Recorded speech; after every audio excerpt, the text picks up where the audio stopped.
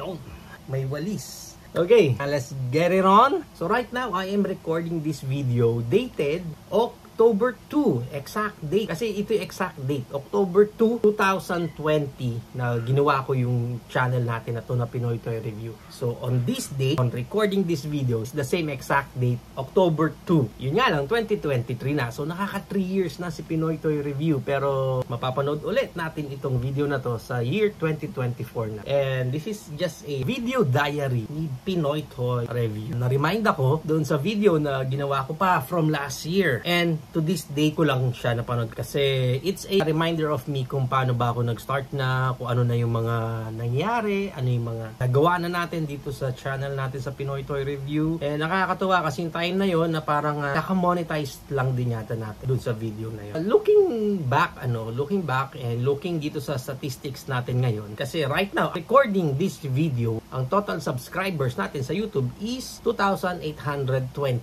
From last year, parang last year yata, doon sa video na nakita ko is 1,400 plus. For the span of one year na nagdaan, eh, mabagal, mabagal. Slow yung progress natin, but still, it's a progress kasi nadagdagan tayo. And mas nakikita ko ngayon yung mga viewers natin, mas personal. Actually, isa yun sa mga maganda nangyari dito sa channel natin ngayon, sa Pinoy Toy Review na na-establish natin, yung mga live videos natin. Hindi pa man natin makommit talaga na araw-araw, may for some personal reasons, mga errands, minsan tinatamad lang talaga. But at least we are doing our best na makapag-live every day. Kasi nagugulat din ako eh. May mga nagpi-PM na, Boss, bakit wala kang live ngayon? Boss, sana makapag-live ka na ulit. Uh, ano topic for today? Nakakatawa din yung mga ganong messages ninyo. Kahit pa paano, naboboost ako doon na, sige, gawin natin talaga everyday and makapag-topic tayo. And yung live stream natin na yun, parang talagang dedicated yun sa toy community. Hindi lang about lasunan, hindi lang about sa mga toys na gusto natin reviewin. Even yung toy community, yung attitude natin toward sa community, kung paano tayo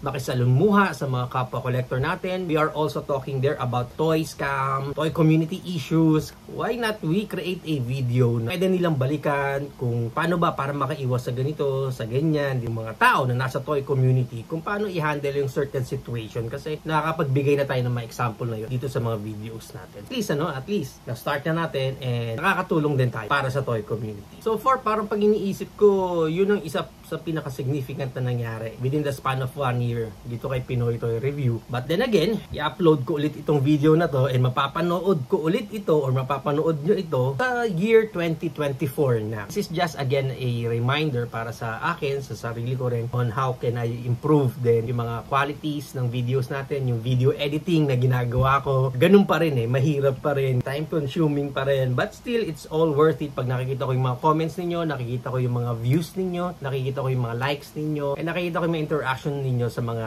videos natin. Ngayon, na 3 years na sa Pinoy Toy Review, I'd like it to be more organic pa rin. Yung mga nagsasubscribe sa atin, talagang organic yan lahat. Napaka-natural ng mga nangyayari dito sa atin. Kasi for me, ganun pa rin naman eh. Kung gusto nyo yung mga contents natin dito, kung gusto nyo yung mga nare-review natin, yung mga ginagawa natin dito sa channel natin, di, di ko na kailangan sabihin yun eh. Viewers will automatically subscribe. Ganun lang kasimple. Kasi gusto nila yung channel. Tulad tulad nga ng parati kong sinasabi dito, lahat tayo nag-enjoy. So, Pinoy Toy Review, tuloy-tuloy mo lang yung ginagawa mo. If you have any ideas, gusto mong incorporate dito sa channel mo, go lang ng go. Kasi you'll never know eh, kung alin yung magkiklik, hindi mo rin alam kung alin din yung tatanggapin ng mga viewers mo. But then again, ang importante is nag-enjoy ka dito sa Pinoy Toy Review. Yun lang muna ulit. Kita kits next year sa ganitong klaseng video.